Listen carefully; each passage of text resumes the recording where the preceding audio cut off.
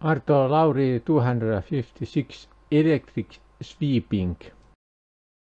Vieläköhän sieltä ruudun toiset puolet löytyy enää kovinkaan paljon ihmisiä, jotka on sitä mieltä, että polttomoottorit on ikuisia sähköä, ei tule työkoneisiin. Toivottavasti ei ainakaan. Paljon tällainen harhautuneita. Tässä on nyt tekniikka ja talous. Tämä on julkaistu mutta ensimmäinen kuudetta. Autonominen lakaisukone siivoaa katuja Espoossa Suomessa kehitetty robotti kulkee sähköllä pärjää huomakka murto-osalla dieselkoneen kulutuksesta video. Tässä on just oleellista se, että sähkö on niin paljon ta- paremmalla hyötysuhteella ja taloudellisempaa. Eikä mene veropolttoainetta. Kuopiolaiskeksintö imee sisään sienjakoisenkin katupöön toisin kuin monet muut lakaisukoneet. Kerromme tässä jutuissa, miten autonomin lakaisukone toimii, minkä hintainen se on ja millaiset eh, koneita eh, valmistavan yrityksen näkymät ovat. Tässä on heillä ihan videokin. Näti, se menee sieltä. Trompia Free on maailman ensimmäinen täysitehoinen sähköistetty ja automaattiseksi robotisoitu lakaisukone. Hyvä juttu. Ja, ja tulee Kuopiosta Trompia Technology. Nyt testataan täällä, tota, ollaan Espoossa Mankkaalla Orionin pääkonttorin ympyrä, ympäristössä. Tehdään pyörätiepilottia, eli, eli tota, kiekan poisto ja katupölyn poisto. Joo, tässä on Espoo Trompia Technologies Oskari Koponen ohjaa kauko-ohjaimella lakaisukonetta espoolaisella pyörätiellä. Laittele opetetaan nyt sen tulevaa työmaata käsiajolla. Kuopiolaisyrityksen kehittämä Trompie Free-konetta on testattu puolitoista vuoden ajan Aimo Parkin parkkihallessa. Nyt laitetaan, testataan monimutkaisemmassa ympäristössä pyörätiellä ja kadulla.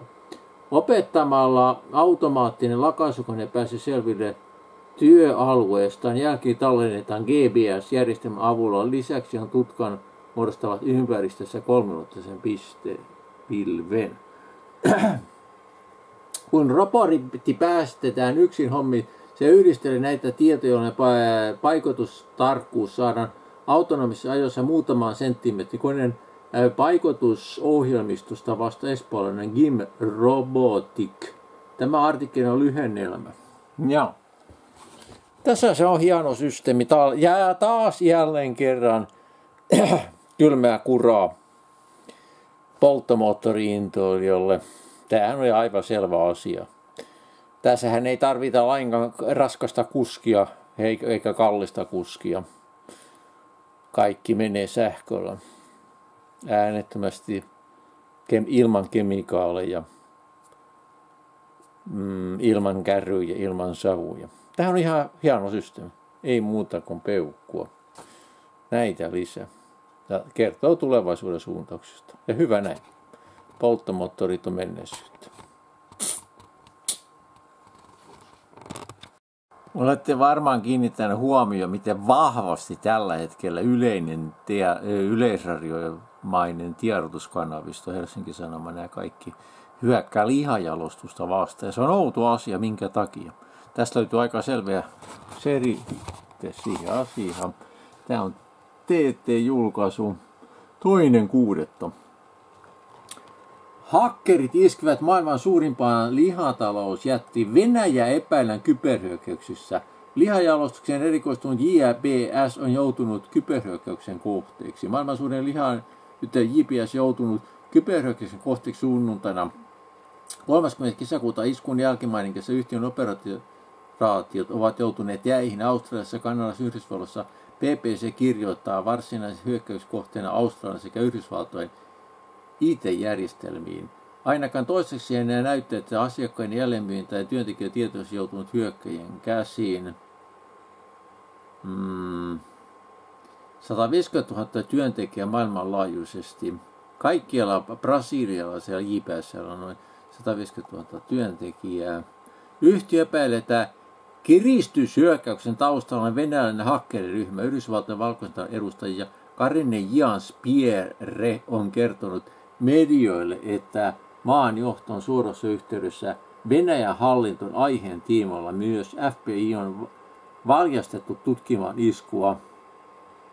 JPS on kertonut edistyneensä kiristyshyökkäyksen ratkaisemisessa yhtiön mukaan se varapalvelimet eivät joutuneet hyökkäyksen käsiin yhtiön tavoitteena saada tuotantolaitos toimintaan tänään 2. kesäkuuta.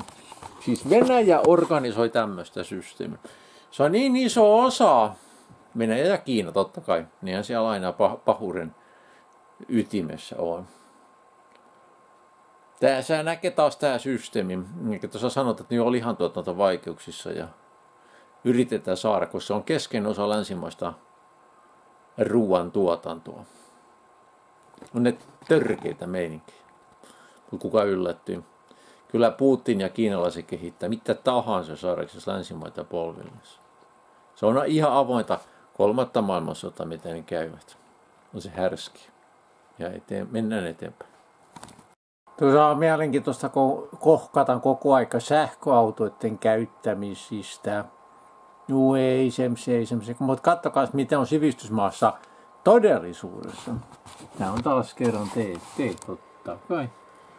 Ja puhuta. Tämä on julkaistu 7.6. Huippunopeus 100 kilometriä tunnissa.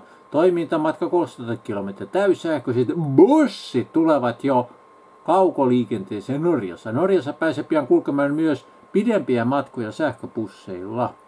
Suurkaupungissa sähköpussit ovat jo arkea, mutta kaukoja ää, turistiliikenteessä ajetaan lähes poikkeuksesta dieselkalustolla. Näin se häviää dieselkalustokin ammattimaisesta liikenteestä ja hyvä näin. Tämähän on hieno. Ja edistyksellinen maa, kun Norja on, missä ei Atomin kanssa prätätä, niin sieltähän sitä sitten faktaa alkaa löytymään. Hieno homma. Peukkua siitä. Ja totutta näille sähköautovastustajille päin korvia, silmiä. Ja mennään eteenpäin.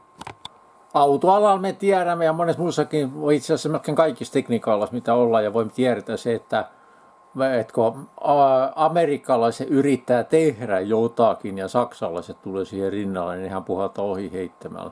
Näin kävi taas kerran 7.6. Tämä on TT.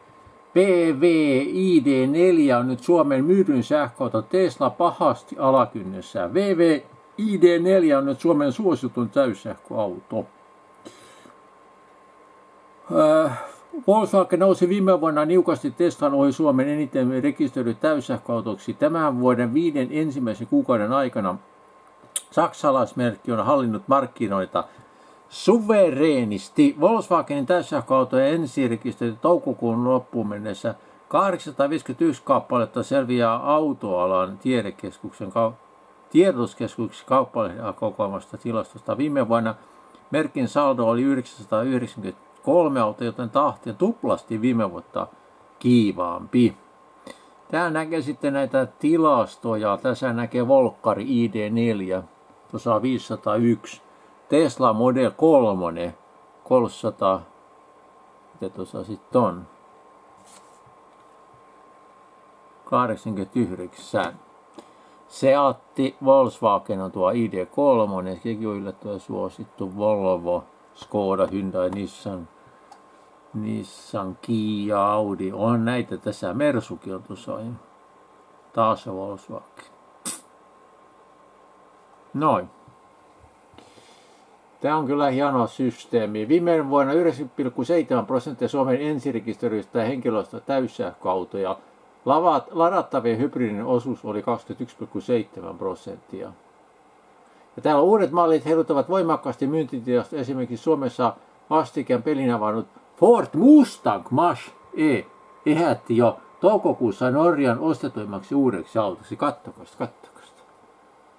Mm. Tämmöistä tilannetta. Tämä on kyllä kaiken huippu, kun Mustangin rupesi myymään sähköautoja. Se on selvä homma. Saksalaiset osaa tehdä autoja laidas. Teslalla on teknisiä heikkouksia ja vajauksia. Esimerkiksi jos se huolto on äärimmäisen hankala ja vaikea. täytyyhän se olla Volkkari. Voihan se olla, voi olla vaikka Volvo, mutta hieno homma. Erittäin hieno homma. Siinä tulee taas flat, flat, flat, flat, flat sähköautovastustajille. Kuraa silmille, hyvä niin.